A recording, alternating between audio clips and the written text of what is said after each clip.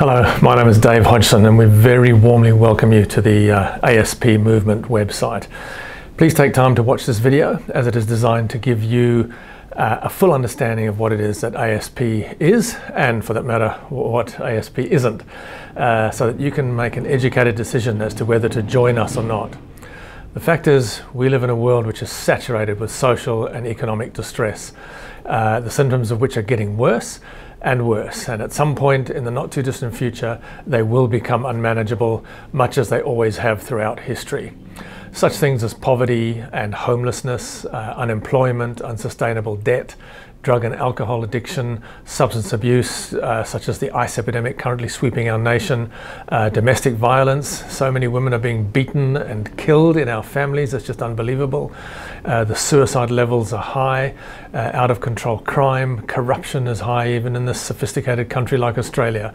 Uh, we have very high recidivism, that's the repeat offending of prisoners, uh, trafficking in children, sex slavery, yes, sex slavery right here under our noses in Australia. There is hunger and starvation, there is still racism, there is still sexism, uh, and of course, on the economic front, the unfunded liabilities of our governments. Um, that is, of course, the making of election promises and post election promises and commitments which can never be funded, they can never be paid for, just to get votes. Uh, this will inevitably lead to immense financial and social distress for our children and our grandchildren. Um, if we go further afield and we look at the first world, obviously the, uh, the third world, uh, um, obviously there are wars, uh, there are refugees streaming out of countries, there's persecution, there is feudalism and slavery, sectarianism, and of course corruption, corruption and more corruption. Third world is, is rabid as is with corruption.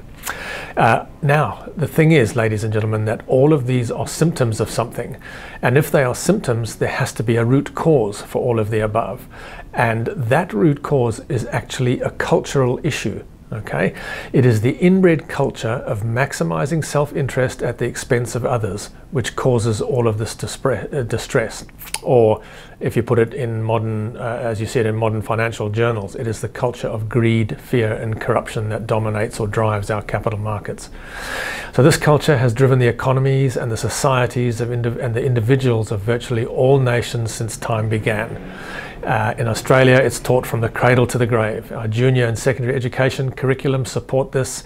Our universities and tertiary institutions teach it. Um, the focus being uh, uh, that we should compete with others to get a job. Uh, once we have the job, we must compete with others to get promotion. Uh, and the driving force behind the job and the promotion is to maximize our own benefit at the expense of the employer. At the same time, the driving force behind the actual employer is to squeeze every ounce of effort out of the employees for as little as possible remuneration okay? And more importantly the overall objective of the business itself is to maximize their profits uh, typically competing in the marketplace with a view to putting their opposition out of business.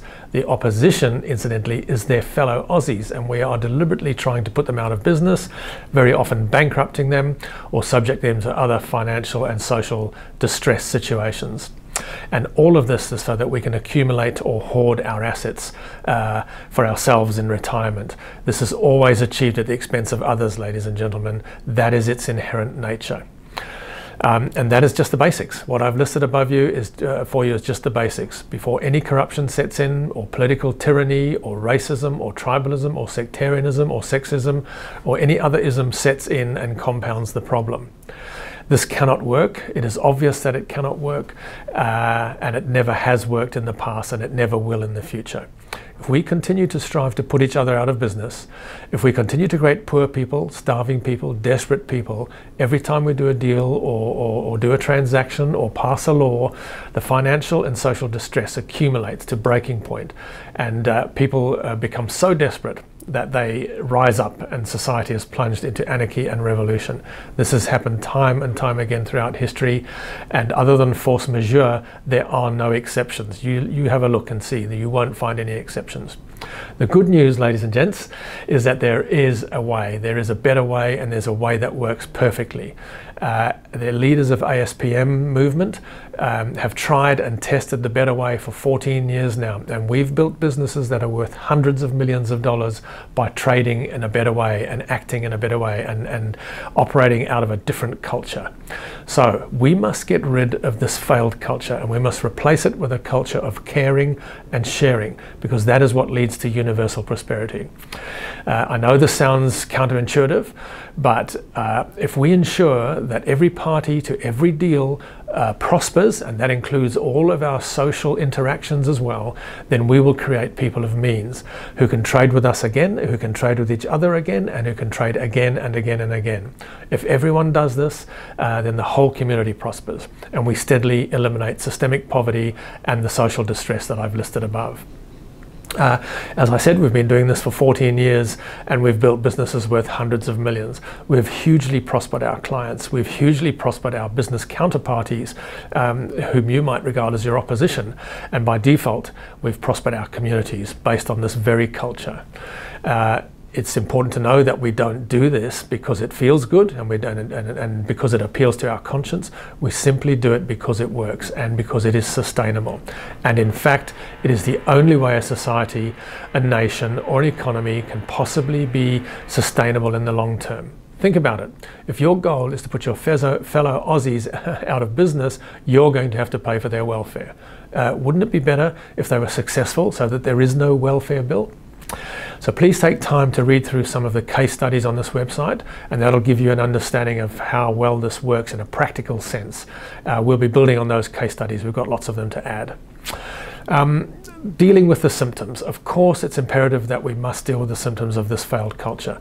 And yes, of course, we must build orphanages, women's shelters, rehab clinics, food and medical aid, and so on and so on. But simply by dealing with the symptoms uh, and not dealing with the root cause of the problem is tantamount to mopping up the water without switching off the tap. More and more taps are turned on, more and more water flows. We mop up more and more frantically, ultimately we are overwhelmed and we drown.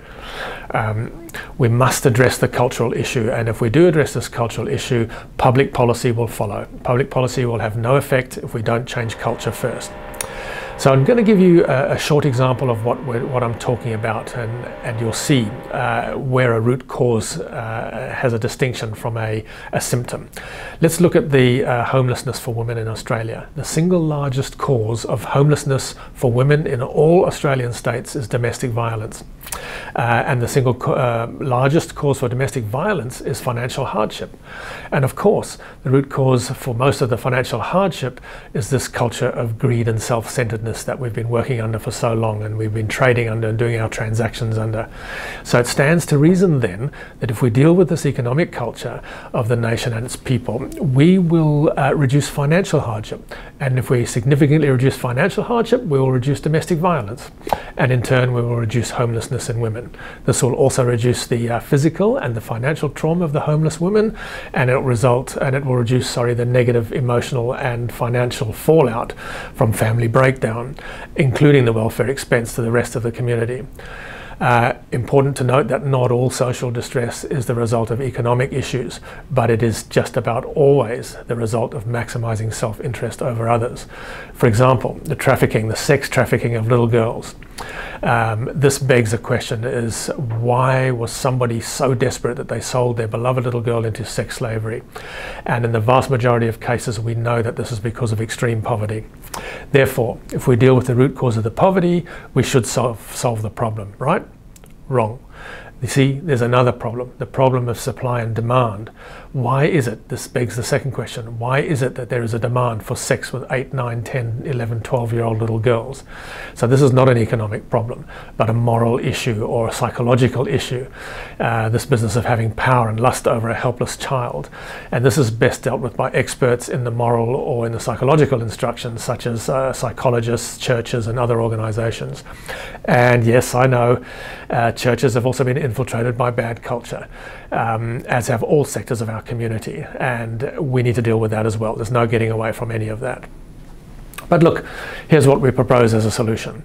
We've embarked on building the largest uh, body of singularly minded business owners that Australia has ever, ever seen, at least 150,000 on a single database or network.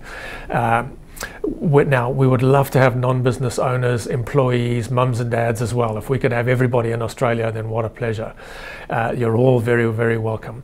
But we need the business owners on board because it is they who are the most influential in the marketplace and it is they who have the ability to change culture quite quickly in the mar- marketplace. Um, so, ASP is an organization where everyone is on the same page, all focused on building what we call a just nation. And the just nation is driven by a preferred economy. You can read the website and see what these, what the interpretation of these are. Uh, this movement, we've named it the ASP movement, and obviously ASP is an acronym for All Shall Prosper in line with the broader vision.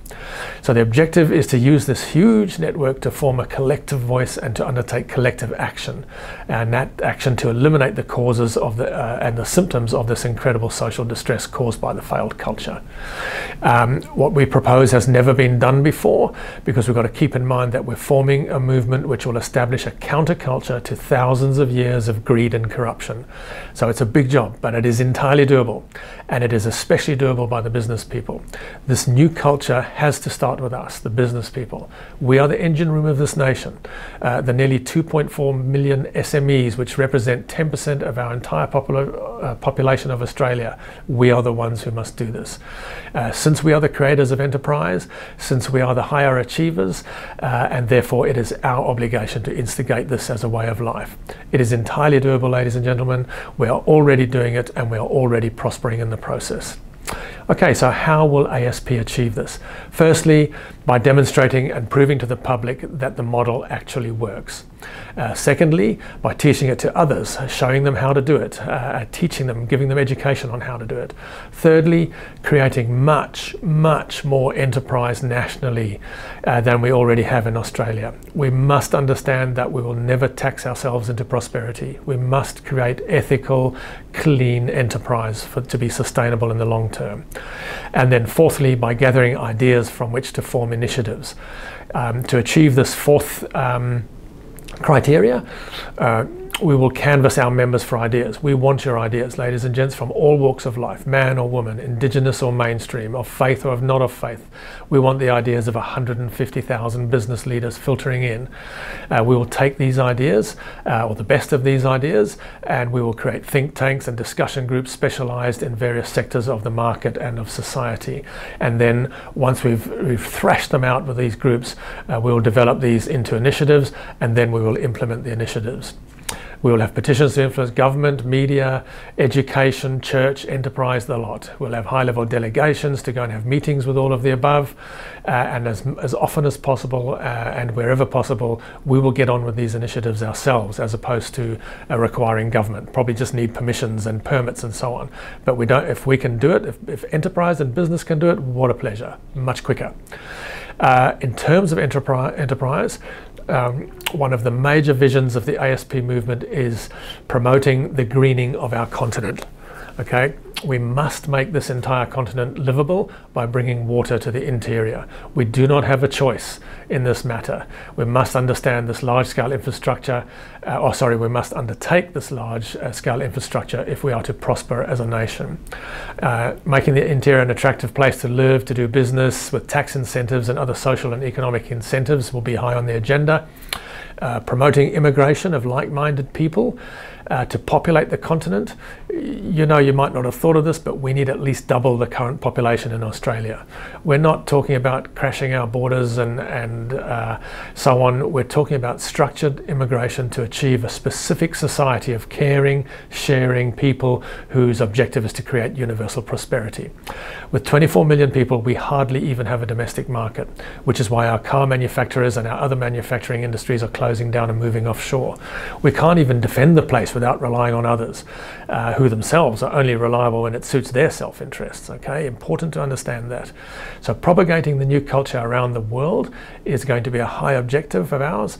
Um, we are already doing that by lecturing all over the world. Our lectures are in demand in most continents around the world. Uh, so as I've said, our objective, the objective of ASPM, is actually to have a collective voice and to be able to take collective action in order to implement change. So that's our objective. But in return for joining, we want to reward people for joining. It's always free. There's no there's no charge for anything here, but we want you to have benefits for joining us.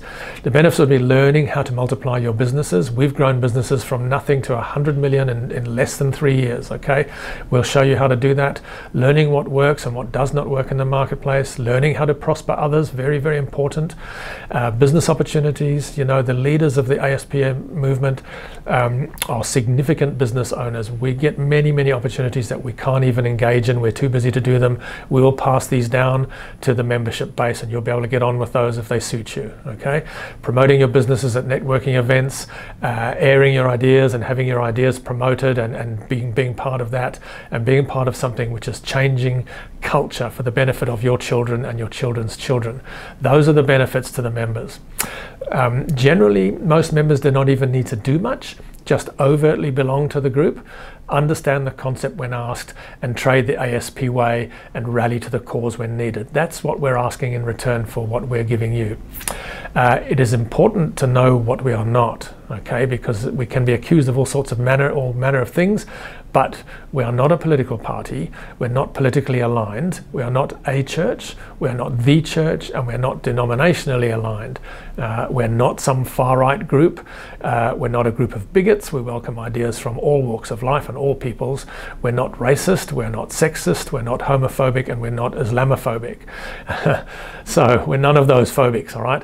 Uh, but what we are, we are a like-minded network of mostly small to medium enterprise owners uh, who are focused on creating universal prosperity through the changing of culture and providing solutions to our social distress. We're an organisation who value our posterity much more than we value our assets and our balance sheets. In other words, we're creating a society that our children can prosper in, not one of anarchy which is where we're heading at the moment. Uh, we're creating universal prosperity through growth and ethical enterprise, as I've mentioned. Uh, we're about phasing out corruption. We're about reducing red tape wherever possible. Uh, we're about reducing regressive taxation. We're about phasing out self serving bureaucracy and replacing it with efficient, vision focused professional administrations. Uh, we're about promoting leaders with sustainable national vision. We're about phasing in politicians or political leaders who are able to strategize policy beyond the next election, which is quite rare. I don't want to be derogatory to our pollies because we love them, we work with them, we're very engaged in public policy, um, but it is a it is a problem. We're also about phasing in political leaders who are focused on the national interest and not necessarily on the self serving interests of their own political parties. Um, and at the end of the day, we're setting up a benchmark economy and a society in a modern developed nation for other nations to follow and to copy. Australia is a very important nation on the world stage, but it only has a very small population. This makes it very much easier to reach a tipping point uh, for change. Um, and after 10 years of teaching this, there is massive momentum around the country now in the marketplace, amongst the business people and the business leaders. And this indicates that Australia will be the first nation in the world to be a just nation, which others can follow in the future. Okay, so now that you've heard what ASP is all about, uh, and if you agree with what ASP is all about, and if you agree with what you've heard, please tick the box uh, that confirms you understand, um, and then please sign up and join the movement. We would love to have you on board. As I said, everything is free, and uh, you're just very welcome to join and become part of the largest and most influential coalition of business owners, business networks, marketplace ministries, and ethical people this nation has ever seen. Ladies and gents, let's use our collective voice to change culture uh, for the good of all Australians and then pass it on to the rest of the world. Thanks very much for joining us and welcome aboard. God bless.